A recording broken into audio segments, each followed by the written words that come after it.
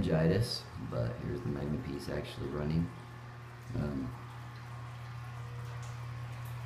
shows the water.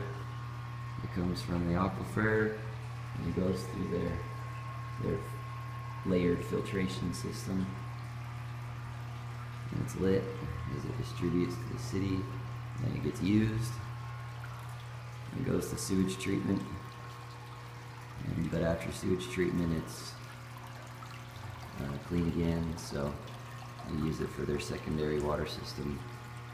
And it runs over people's gardens and their lawns and things like that. So then it drops off the cross section and goes back down into the aquifer, which is across there. So.